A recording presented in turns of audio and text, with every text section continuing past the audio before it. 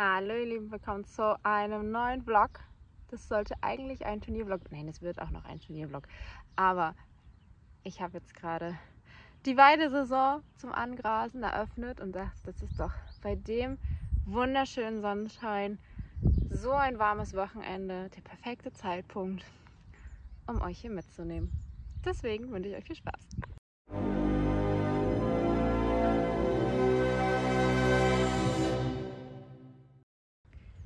Castor und Rusty genießen hier die ersten richtigen Grashalme des Jahres. Ich glaube, so früh hatten wir das auch noch nicht, dass wir hier die Wiesen nutzen können. Wir haben ja mal schon so ein bisschen an der Hand was gegrast, aber es ist hier so schön warm gewesen jetzt die letzten Tage und auch jetzt sind es, weiß nicht, so 22 Grad. Richtig toll. Es ist alles super trocken, sodass sie hier halt auch die Grasnarbe nicht kaputt machen, wenn sie mal ein bisschen losgaloppieren. Aber das Losgaloppieren hat ungefähr 30 Sekunden gedauert. Seitdem fressen sie. Und es sei ihnen ja auch gegönnt.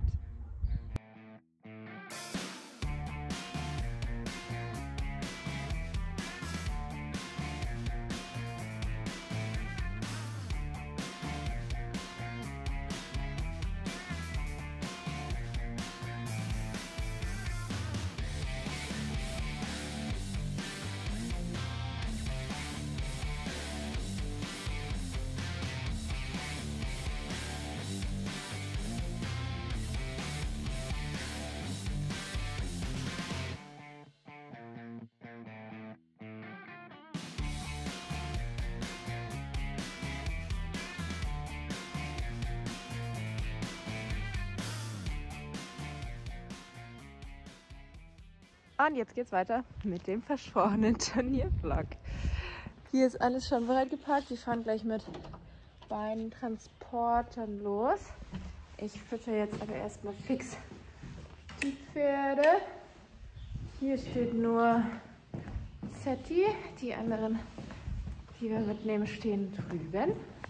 Claire kommt nachher, wenn sie ausgeschlafen hat, auch noch mit zum Turnier. Bist du auch noch müde? Sind die alle noch müde? So früh ist es doch gar nicht. Aber die bringt Toni nachher mit.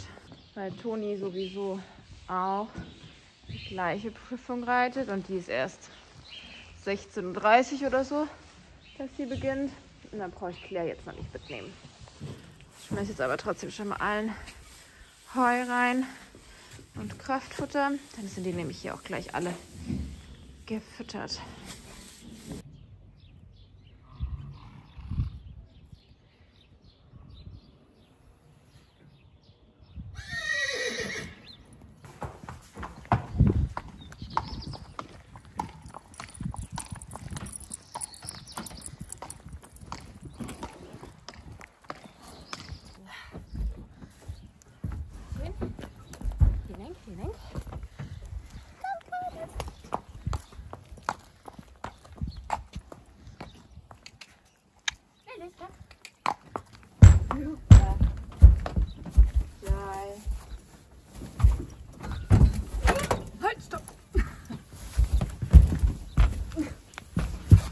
Okay, das ging. Jetzt hast du mich ausgetrickst, komm. Vorführeffekt.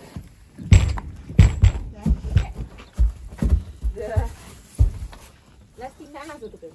Los. Nee, hier wird nicht rumgeärgert. Mach schon mal zu.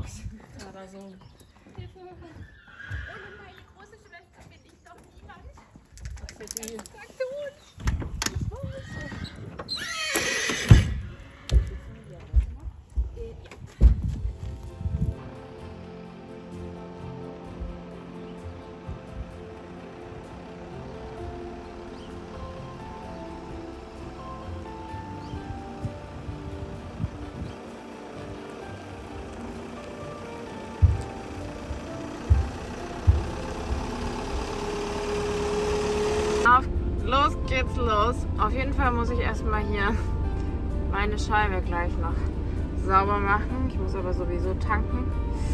Das heißt, ähm, dann habe ich auch wieder Durchblick.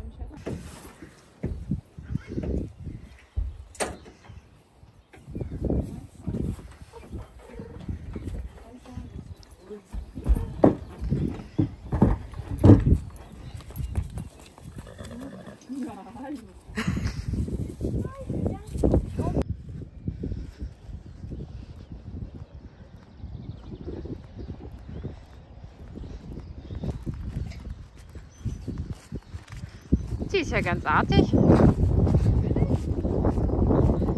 Verrückt. Kann sich jetzt erstmal ein bisschen ablongieren. Ich glaube, abregen braucht sie sich nicht, aber ein bisschen warm machen. Und du kannst dich abregen.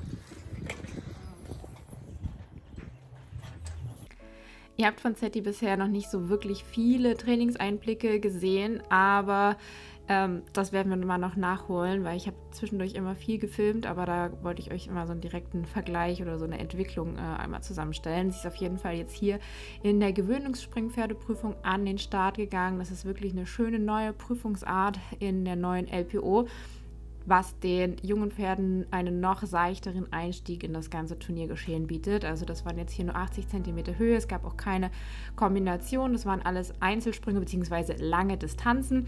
Also wirklich schöne, leichte Anforderungen, um einen richtig entspannten, guten Einstieg in das ganze Turniergeschehen zu haben. Für sie auch wichtig, Ihr seht, sie ist ja sehr groß. Wir haben sie ja letztens gemessen, also 1,77 hat sie Stockmaß, aber sie ist ja auch sehr lang, sehr großrahmig, also braucht man auch einen großen Platz für sie was sich hier jetzt in Petepool einfach perfekt angeboten hat. Ich glaube, der Platz ist 70 mal 70, also da hat sie wirklich genug Platz zum Galoppieren und vor allem für die Wendungen, weil sie eben sehr lang ist. Aber erstmal sind wir hier bei der Parcoursbesichtigung. Das ist ja für die jungen Pferde immer eine sehr schöne Möglichkeit, sich mit allem schon mal vertraut zu machen. Sie ist am Sprung generell überhaupt gar nicht glotzig, also auch zu Hause kann man einfach alles anreiten, das ist gar kein Thema. Aber natürlich das Ganze drumherum, also das außenrum, die Situation mit den anderen Pferden und allem ist natürlich sehr viel aufregender als zu Hause. Und da ist es schön, wenn die jungen Pferde da wirklich viel Zeit haben. Ihr seht hier, sie ist kurz so, so ein bisschen unsicher, aber hat mir ein so ruhiges, entspanntes Gefühl gegeben. Also ich hätte eigentlich damit gerechnet, dass sie viel hektischer, so ein bisschen unberechenbar klingt jetzt böse, aber einfach, ähm, einfach so, so unkoordiniert also ist So war sie nämlich am Anfang. Ist auch sehr, sehr viel gestolpert, weil sie sich einfach gar nicht in ihrem Körper gefunden hatte. Also da haben wir schon viele, viele, viele Fortschritte mit ihr gemacht. Und ja, dann ging es jetzt hier los. Sprung 1 schön freundlich zum Ausgang hin. Sieht man jetzt hier gar nicht, aber man sieht so ein bisschen, wie sie sich streckt. Ich kam da echt groß hin. Und sie ist natürlich noch sehr lang in den Distanzen. Zwischendurch jetzt hier habe ich sie richtig gut zusammen aber ich musste auch echt gucken, dass ich so den Fluss drin behalte. Ich hätte gedacht, dass sie deutlich ja, spritziger und so ein bisschen mehr zack nach vorne ist, aber ich musste schon echt gut mitreiten, um den Fluss richtig drin zu behalten. Da muss sie natürlich noch deutlich geschlossener auch in den Distanzen bleiben, wie sie es hier schon in den Wendungen schön hat. Aber da war es mir jetzt erstmal wichtig, immer schön wieder tendenziell lieber größere Distanzen für sie zu finden, weil sie ist natürlich sehr groß, hat einen super guten Sprung, wenn sie schön sicher sich auch fühlt. Aber das muss natürlich alles erstmal ein bisschen gelernt und verarbeitet werden. Hier in der Wendung ist sie mir ganz schön zum Ausgang gedrängelt. Ja, dann wurde sie mir einfach sehr lang, sodass wir hier leider am letzten einmal dann den ärgerlichen Hinterhandabwurf hatten, was natürlich sehr schade war. Aber vom ganzen Umgang hat sie uns echt überzeugt und umgehauen.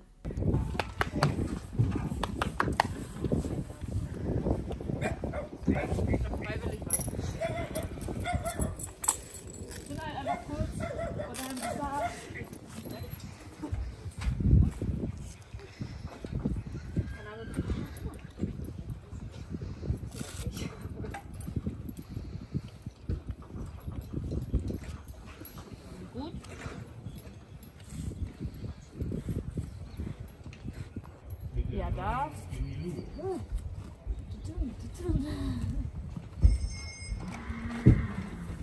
Ja, beim letzten war es dann halt so ein bisschen dicht rangelaufen. Deswegen hast du da so einen Hinterhandflachs gehabt. Schade. Kannst du auch nochmal gucken? Dein Fehler. Ärgerlich. Ärgerlich.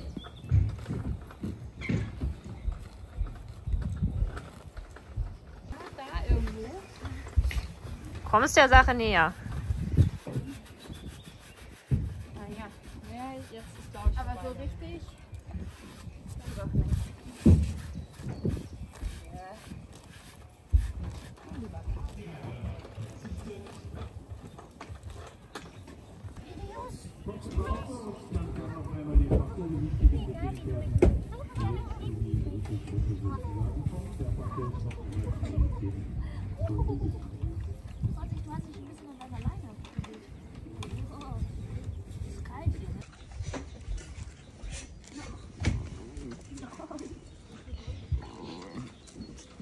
wyższych.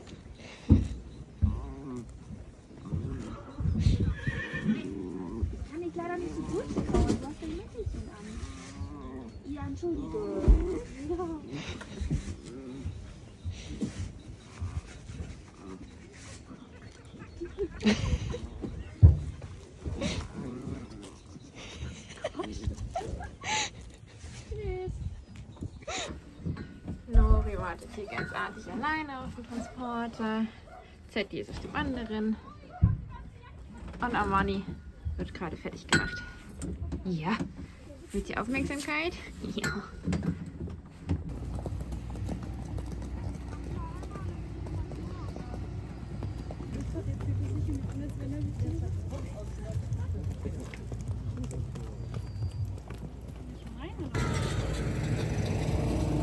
Kannst du auch darüber den Schein irgendwie ablegen.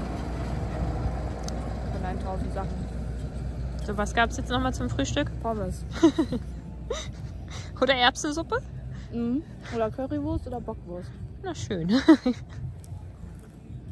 Nach den Frühstücksturnierpommes ging es dann mit Armani weiter. Auch für ihn, er ist jetzt hier Springpferde A1 Sterne und 2 Sterne gegangen, beziehungsweise nach den neuen Anforderungen oder Ausschreibungen ist das ja 90 cm und 1 Meter. Aber auch da darf man ja mit Pferd einmal das Ganze besichtigen. Ich habe vorm Start, habe ich schon bei Instagram einmal erwähnt, ganz viele kleine Schritt-Trab-Übergänge gemacht. Der kleine Herr ist nämlich ein kleiner Macho. Das traut man dem süßen Kerl immer nicht so zu. Aber der lässt sich gerne ablenken und spielt sich dann ein bisschen auf und ist dann so ein kleiner Clownskopf und ein bisschen unkonzentriert. Deswegen muss ich da immer ein bisschen schauen, dass ich ihn vorm Start wieder zu mir bekomme. Hier hätte ich mich tatsächlich für einen Galoppsprung weniger entscheiden müssen. Also die sieben Galoppsprünge waren für ihn dann echt eng, wäre ich da auf sechs vorwärts, wie ich sie jetzt auch hier geritten bin. Ähm, geritten wären wir da ein bisschen besser angekommen. Hier konnte ich jetzt nämlich schön den Fluss mitnehmen. Diese sechs nach vorne hätten auch sieben kleine sein können von den Abmessungen her, aber das hat für ihn super gepasst. Und generell, also dafür, dass er draußen echt ein bisschen lustig drauf war, weil es jetzt natürlich auch das erste Draußenturnier ist, war er drin so konzentriert bei mir, hat sich richtig toll reiten lassen, ganz gleichmäßig am Sprung, hat eine 7,9 bekommen, hat mich ein bisschen geärgert, dass er hier einmal kurz so umgesprungen ist, weiß ich nicht warum. Naja, er hätte auch eine 8,0 verdienen können, hätte ich jetzt gesagt, ähm, so im Vergleich. Aber gut, mein Gott, so ist es eben. Leider waren wir damit erste Reserve. Wie ärgerlich war das? Naja, aber dann ging es hier schon in die zweite Prüfung, direkt hier nahtlos weiter für euch. Und das ist dann eben jetzt die Springpferde A2 Sterne. Ich brauche immer so kurz einen Konzentrationsmoment, aber ich konnte auch hier wieder schön die Vorwärtsdistanz zur 2 weiterentwickeln. Und generell, er ist so fein, aber kräftig, schön galoppiert unter mir. Also wirklich so, dadam, dadam, schön Zug zum Sprung, ohne aber eben drauf zu ziehen, hat sich danach gut abfangen lassen. Also es war wirklich ein ganz, ganz, ganz tolles Reitgefühl, auch in dieser zweiten Runde. Er hat ja auch so ein paar Turniere jetzt gebraucht. Er ist ja noch nicht viel gelaufen, er ist jetzt, glaube ich, das dritte Mal jetzt hier bei uns mit. Ähm, vierte Mal, dritte, vierte Mal. Aber ähm, er ist in der zweiten Prüfung gerne mal noch so unkonzentriert gewesen. Hat man gemerkt, er war dann eben einfach so das Konzentrationsvermögen dann ein bisschen aufgebraucht. Jetzt hier leider so einen ganz leichten Netzroller. Oh, richtig ärgerlich. Das hat uns dann leider die Note einmal ein bisschen gekostet. Er hat eine 7,8 als Grundnote bekommen, minus 0,5 dann eben für den Abzug. Aber wichtig war vor allem eben, dass er so stark konzentriert geblieben ist. Dann konnte man jetzt hier noch optional diesen Wassergraben. Der war jetzt nicht mehr offiziell im Parcours, das war so eine angebotene Alternative, aber das springt ja mal ganz sicher, haben wir gleich mitgenommen, nochmal zum Training. Ja, bin sehr zufrieden, schade mit der Stange, aber der hat sich ganz, ganz toll entwickelt.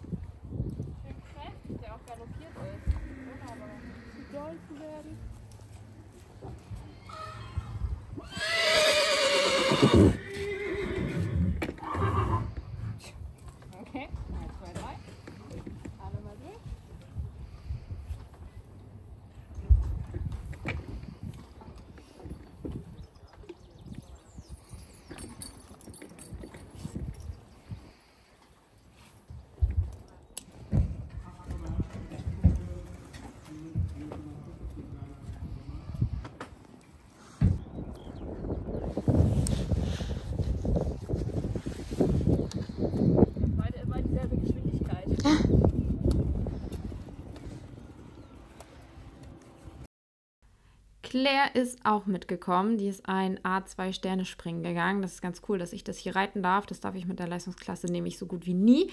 Und deswegen konnten wir das hier jetzt einmal ausnutzen. Claire hat noch sehr wenig Turniererfahrung. Es ist vor allem, was Umgebung und Sprünge angeht, extrem glotzig.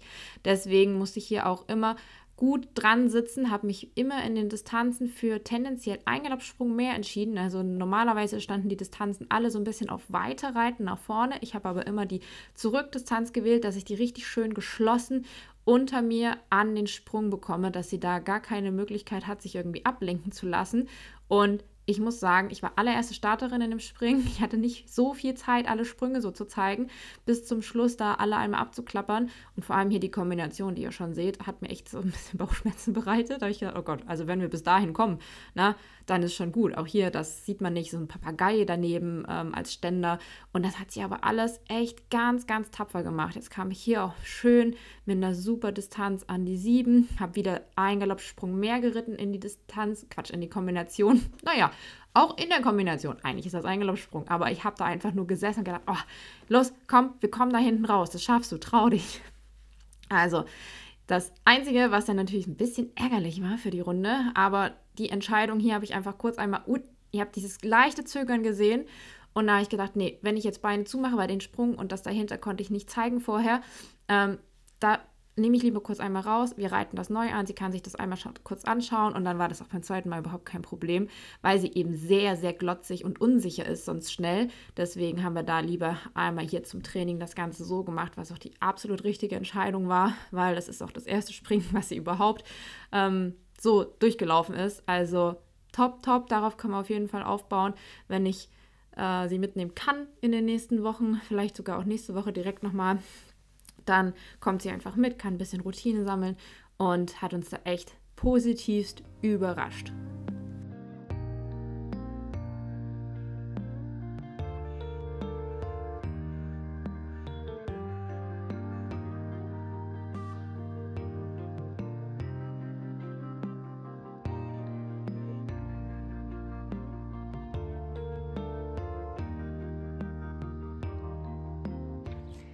Und nachdem Zetti einen sehr aufregenden, lehrreichen und erfolgreichen Turniertag gestern hatte, konnte sie jetzt hier einmal mit ihrer besten Freundin Kanada die Weide genießen. Aber jetzt ist auch wieder gut. Ne? Das waren jetzt 25 Minuten. Ist jetzt auch erstmal genug fürs Anweiden. Das sieht sie anders. okay. Die anderen wollen auch noch. Im Schnitt des Vlogs habe ich gerade gemerkt, dass ich noch gar kein Ende habe. Naja, es war irgendwie so ein richtiges Trainingsturnier. Es war viel gut, immer so ein bisschen Pech, ob das so erste Reserve oder so mal so eine kleine Netzrolle oder so dann war. Ja, was dann Platzierung irgendwie verhindert hat für die Pferde. Es war sehr ärgerlich, natürlich, aber trotzdem waren da sehr, sehr viele gute Runden bei für die jeweiligen Pferde und die jeweiligen Ausbildungsstände und Ziele und um das einfach zu festigen und weiterzubringen. Also ja, auch wenn da jetzt nicht die Platzierungen leider bei rausgesprungen sind, sind wir da trotzdem sehr zufrieden. Toni war nämlich auch äh, sehr erfolgreich. Die war im A0 und auch im L0. Die hatte erst so ein bisschen gehadert, ob sie jetzt schon sich das L wieder zutraut. Wir hatten im Winter so ein bisschen bisschen Durchhänger gehabt im Training, was ihren Kopf angeht. Das war nicht ganz so einfach. So die letzten Wochen haben da aber jetzt viel wieder gerichtet mit Cassano. War das jetzt eben wieder das erste Turnier auch nach einer langen Winterpause. Und das war wirklich sehr gut.